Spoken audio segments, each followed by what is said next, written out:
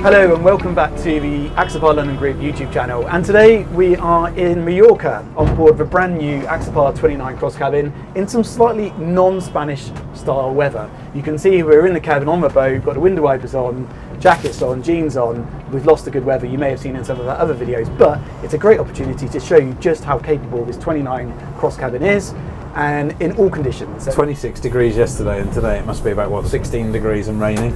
But the great news is this is why people buy a cabin. Yeah. we went out on this yesterday um, and we've done some filming and yesterday these big doors wide open this sunroof wide open you feel very connected with the sea. Yeah. it was beautiful in the sun. We were really enjoying that open boat feeling. Today the weather's changed. We're in a secure environment. Doors are shut sunroof shut we can have a nice conversation and we're sheltered from the elements. And that's one of the great things about this. But remember in an Axopar you've also got the option of having a suntop Yeah. so for those people that don't want a cabin there is something else. But if you have the cabin you've got such versatility right? We'll put a link to our Suntop video up here in the corner. So go and if you'd like to see the Suntop click on that and on that one it was sunny I promise. should we talk about how the hull attitude has changed?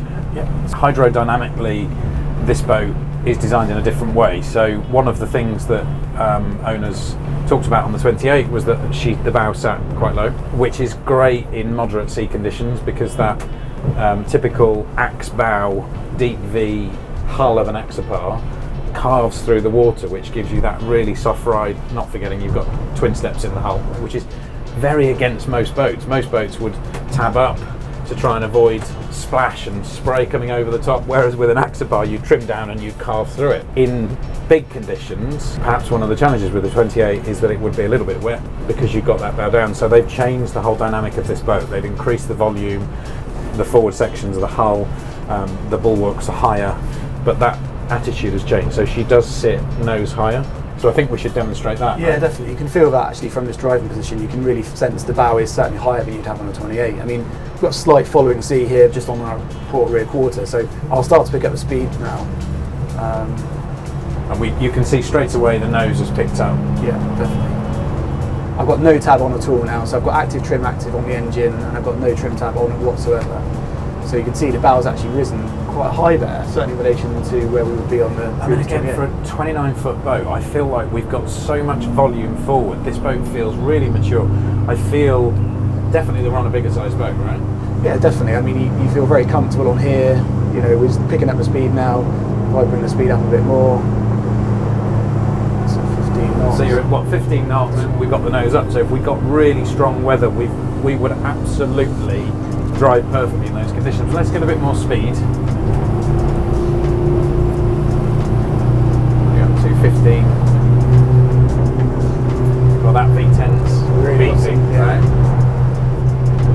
20 knots. Amazing.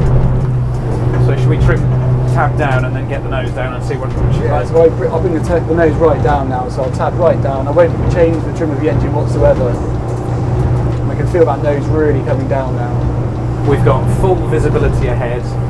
We can see the, the sea conditions, the wave pattern, and what a smooth ride. 23 knots in fairly lumpy conditions. Tab up a bit more now, just take a bit of that tab off, just stop the spray on the screen. Yeah, it just inspires confidence. I think that's the thing with this boat. I mean, we're in fairly unfamiliar waters here to us, but it inspires confidence. We're out here, you know, I feel perfectly safe. We've got a bit of sea running, but I've got great visibility. I've might just have to put the window wipers on in a minute, but other than that, we're all good. So should we see what she's burning per hour on? Yeah, so let's pick it up to sort of a slow cruise. So it's slow cruise here, so we're doing 19, 20 knots. Obviously we've got a bit of sea condition here to deal with, so um, we're doing there, we are doing 45 litres an hour. So we've already looked at the fuel data and it's quite interesting. This boat is more efficient, actually faster. Well, it absolutely demonstrates Axopar's efficiency in the hull. So we're what 20 knots, just under 50 litres an hour. We've got 400 litre fuel tank. So that gives you quite a long range at this speed. But pick up the speed, fuel consumption is probably not going to change drastically. 22 knots, and again, as I mentioned, you know, we've got following sea here, but I feel very, very confident with the conditions. And that higher bow here is definitely giving me more confidence in this following weather. The, the, the bow is now a long way from the waves. No spray. No spray. What we got we've got wet windows, but but it's raining outside. But you feel great visibility everywhere you look. You noticed in the 29 these windows are much bigger. We haven't got those big mullions at the back, great so you can literally see everywhere. A small pillar here. Um, so let's just see because the Axopar hull is so efficient that actually you can go the same, burn the same fuel at faster speed. So, but let's get up to 25 knots, Tom, which is, I think, fuel consumption-wise, is the most efficient speed. I think we'll put some fuel data on the screen. We're not, we haven't got um, litres per nautical mile, but so 25 knots, yeah, burning the same fuel. She's sort of swinging from 45 to 50 litres an hour. See what she's like at higher speeds. I appreciate the weather's not great for that today, But yeah, I mean, let's pick it up to 30-ish knots in these conditions. It's probably faster. I reckon. So we've got a, a moderate sea. We're running with it. I mean, I don't know many boats that you would have the confidence, certainly at this size, that you could drive like Not this. without getting very wet and uh, cold. And that's the other thing here. You know, we're very comfortable. I don't think that's the main, the real strong point of this cabin. It really is. So we've moved to a chauffeur-driven scenario here, Steve. haven't We have a captain now. We feel very Yeah, luxurious. the boat's on driving itself. 29 foot boat. Um, we wanted to demonstrate again how comfortable. Uh, Whether this was deliberately designed this way, I'm not sure. I'm sure Axopar will say it is, but these angles here, great for resting your arm. If the driver was going a bit faster, I've got this great handhold here. This feels really solid. It does feel solid. And this glazing, I mean, this is a key feature of the new 29, isn't it? This, the, the, the glazing at the, You feel like the back of the cabin here. I mean, it is Love these little details, the adventure company and the glazing. I think that's huge really cool. window there across the off, Yeah. across the, you know, the, the rear We're, of this section. we're on the wet bar version. We're not on the Yeah. aft cabin. We did film that some of that yesterday. But I do love the fact that you've got so much storage under here. There's huge, yeah, there is a huge amount of storage underneath your seat, and the access is just so easy as well. It really is now on this new design. Lift this section up, Oh, shelf here. That's quite cool. and that, and you know, perfect for all sorts of gear, Yeah. bags. I mean, you can see we've got loads of life jackets, grab bag, and it's really good how it's been shelved out and it's all smooth to get things in there. Um, I love this new upholstery colour. It's really, really great. Um, even USB charging point down here, um, Yeah. which is great if you've got iPad, iPhone for charging. Wet bar, multi-storage, aft cabin.